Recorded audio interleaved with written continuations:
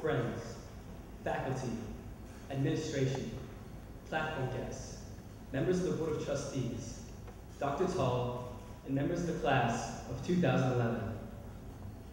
Sitting behind me, I would like to introduce the Worcester Preparatory School class of 2011.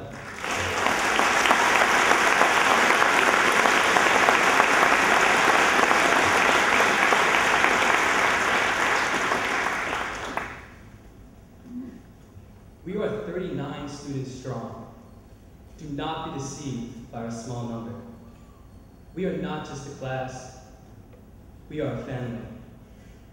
Together we have learned, together we have laughed, together we have cried, and together we have grown.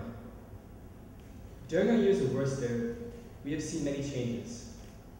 The construction of a new gym, a new library, a new wing, the use of iPads and computers, and a name change. From Worcester Country School to Worcester Preparatory School. I believe the name change was appropriate, realizing that all 39 of us are leaving here today with something far greater than an outstanding education. Any institution can teach. Worcester prepares. Our expectation is not just subject learning. We were groomed to be citizens for the future. Our grooming started off in second grade when we participated in the manners banquet. We were taught proper table manners, how to greet people, and many different types of etiquette. Today, some of us may not remember which utensil to use first, but we do know how to act with integrity and respect. We also understand that appearance is very important. Thanks to members of the faculty and administration, we know never to have our shirts untucked, to always have a belt, and that white socks do not match with dress shoes. We have now started to create our own legacy of proper conduct. Last spring, members of our class helped develop the first Worcester Preparatory School Honor Code. The Honor Code will serve as a moral compass for all students. We are proud to have been part of the implementation. When I think of compassion in terms of our class, the golden rule comes to mind. Do to others what you would have them, have them do to you. Throughout our upper school career, we have participated in numerous volunteer activities that were both memorable and rewarding. In events such as the Christmas food drive, the Relay for Life, and the beach cleanup, there was no hesitation to lend a helping hand. This year, a few of our classmates helped create the first school blood drive. We are very proud of them. Not only does this class care for our community, but also each other. An exchange student from China entered our class in our junior year. On the first day of school, I could tell he felt nervous about attending high school 7,000 miles away from home. At the end of his first day, when I asked him how he felt, he said, I felt like I have just been adopted into a new family. We welcomed him with open arms and gave him our hearts. This kind of warmth and love that we share with each other is truly special. No matter where our lives take us, I know we will always be there for each other.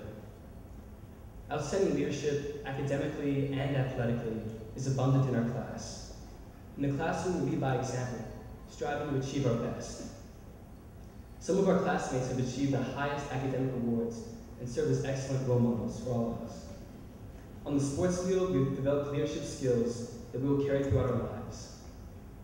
Our fifth and eighth grade trips to Echo Hill also played an important role in our development.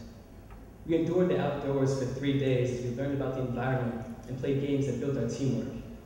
During meals, we were convinced to clear our plates because our wasted food would be put into the slop bucket, that funky bucket.